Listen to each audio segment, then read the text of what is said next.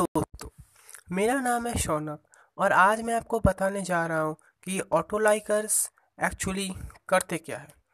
इससे पहले भी मैंने ऑटो लाइकर्स पे एक कवरेज किया था। अभी मैं दूसरा कवरेज करने जा रहा हूँ, जिसमें मैं आपको ऑटो लाइकर्स के बारे में और विस्तार से बताऊँगा। तो ऑटो लाइकर्स से खतरा क्या हो सकता है? ये देखिए। ये जैसा कि मैं आपको दिखा रहा हूँ फाइव मिनट्स में five hundred likes Facebook auto liker नीचे लिखा हुआ है खतरा।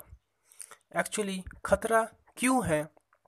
ये मैं आपको बताऊँगा कि एक्चुअली हम जब ऑटो लाइकर्स को, कुछ भी ऑटो लाइकर्स यूज़ करने से पहले, हमें सबसे पहले सेटिंग्स में जाके हमारे प्रोफ़ाइल में जितने भी सब कुछ है, उन सबको पब्लिक करना पड़ता है।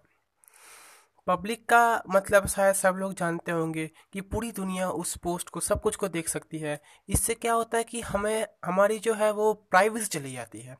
प्राइवेसी जाने के कारण हमारे कुछ भी सीक्रेट नहीं जाता सब कुछ हमारे अकाउंट से लीक होने लगता है। ऑटो लाइकर्स को आपको मज़ाक में उड़ाना ही सही है।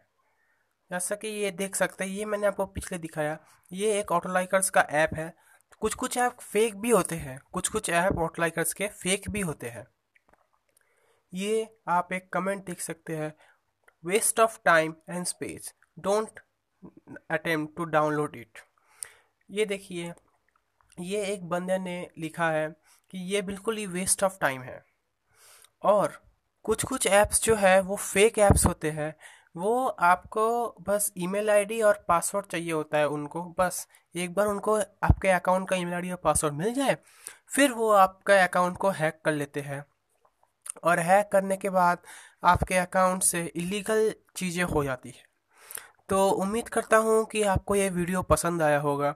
अगर आपको ये वीडियो पसंद आया है तो लाइक करें। और अगर पसंद नहीं भी आया है तो मैं कोशिश करूँगा कि मैं आगे और भी अच्छा वीडियो ला पाऊँ। तब तक के लिए गुड बाय जय हिंद, वंदे मातरम।